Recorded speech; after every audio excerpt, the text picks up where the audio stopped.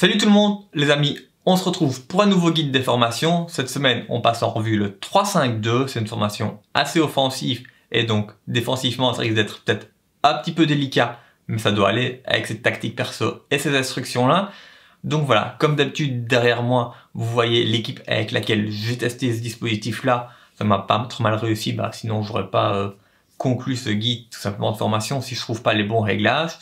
Donc voilà, n'hésitez pas déjà à vous abonner et lâcher un like si la vidéo vous plaît au final, que c'est toujours une marque de soutien, c'est très important pour la chaîne. Donc voilà, on va passer tout de suite en revue les instructions et la tactique perso, mais c'est comme toujours hein, d'abord la tactique perso et puis les instructions. Maintenant, vous avez l'habitude. Pour la partie défensive, moi j'ai mis un pressing après la perte de balle. Pourquoi? Parce que tout simplement, dès qu'on perd le ballon, j'ai envie qu'on le récupère rapidement. Que vu qu'on a trois défenseurs, ça va être délicat. Donc il vaut mieux avoir toujours le ballon pour soi. Donc voilà, pressing après une perte de balle, c'est classique. Après la largeur, j'ai mis 4. Bah, tout simplement, le dispositif, vous voyez, avec le MG, le MD, les trois défenseurs centraux, c'est quand même un dispositif assez large.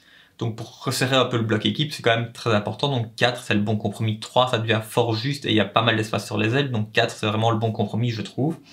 Et puis profondeur, j'ai mis 3, tout simplement pourquoi? C'est vrai qu'avec le pressing après une perte de balle, on pourrait mettre un peu plus haut pour récupérer plus haut et presser encore plus haut. Mais le souci, c'est qu'après, tout simplement, on a beaucoup d'espace dans le dos de nos défenseurs. Et en 3-5-2, s'il y a beaucoup d'espace dans le dos de nos défenseurs, c'est vraiment très très compliqué de défendre et on risque de se prendre beaucoup de buts. Style offensif, je vais laisser en équilibré parce que tout simplement construction, possession, tout ça, j'ai testé. Ça donnait pas forcément de bons résultats, je trouvais pas forcément mes joueurs, je, je me créais pas forcément d'occasion, donc voilà, vraiment équilibré, c'est vraiment le bon compromis avec le 3-5-2. Et puis après, largeur, j'ai mis encore 4. En fait, c'est un peu comme la partie défensive, tout simplement. Le dispositif de base, il est très très large, donc j'essaie de le resserrer un petit peu, mais pas trop non plus. Bon, voilà, pour élargir au-dessus de 5, ça servira à rien, parce que bah, c'est déjà tellement large comme dispositif, donc ça vaut pas la peine.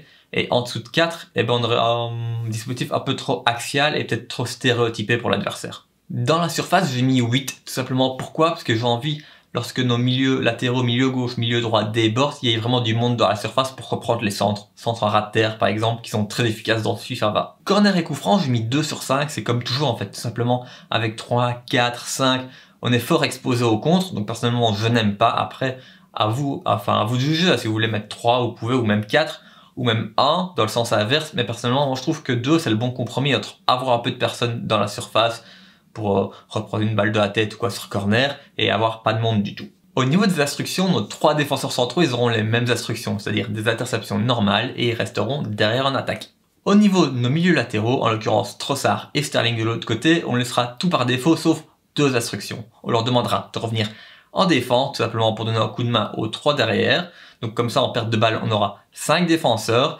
Et dès qu'on récupère le ballon, on leur demande de faire des appels dans le dos de la défense pour prendre de la profondeur directement dans le dos des défenseurs et après on se crée des occasions, c'est à vous de faire la différence sur les flancs. Au niveau des milieux défensifs, tout d'abord on va parler du choix des joueurs. Personnellement je pense que c'est bien d'avoir un joueur un peu box-to-box comme Wayne Aldoum et un vrai milieu défensif comme Fabinho, tout simplement pour avoir une paire assez complémentaire. Sinon ils auront tous les deux les mêmes instructions, c'est-à-dire couper les lignes des passes, rester derrière en attaque et couvrir le centre. Comme ça vous avez vraiment votre paire de milieux défensifs qui va aider la défense. Encore une fois, vu que c'est un dispositif fort offensif et défensivement c'est un peu délicat, notre numéro 10, en l'occurrence Paul Pogba ici, on va lui demander de revenir en défense pour donner encore un petit coup de main, et le reste on laissera en équilibré pour ses instructions. Pour le duo de buteurs, je conseille toujours d'avoir un duo de buteurs assez complémentaire. Par exemple, Batshuayi qui est un peu moins rapide mais plus physique, et Eza qui est plus rapide mais moins physique.